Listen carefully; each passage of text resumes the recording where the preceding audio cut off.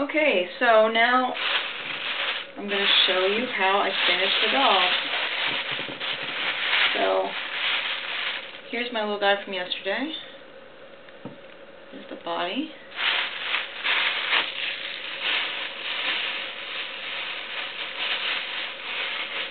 And here is the head. So, let's move these out of the way so you can see better.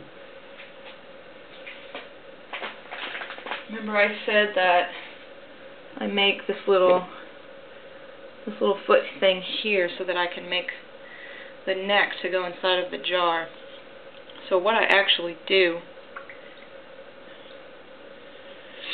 is this is kind of like pulling handles. I know not everybody watching this are potters, but when you make handles for a mug or anything that needs a handle, you get a lump of clay and you get it wet and then you kind of pull on it to lengthen it. So that's pretty much what I'm doing here. I've used a lot of different methods for making these doll heads. Um, this one kind of just occurred to me within this series and it seems to be working really well for me. I don't have to fuss with trimming or getting a real exact fit on these guys. I need to put a hole in this too, since this head is airtight. As it dries, the clay will shrink as the water leaves, and if I don't poke a hole in this, the air has no place to go but to give, but to crack my piece. So,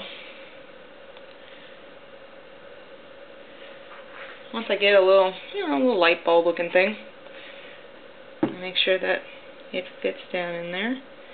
It looks like it needs to be a little bit smaller. And while I'm making the neck, I also usually um, kind of play around with the head a little bit.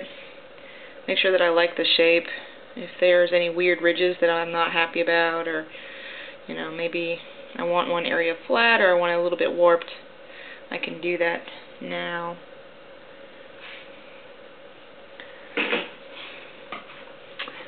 Alright, and that is a doll jar. Thanks.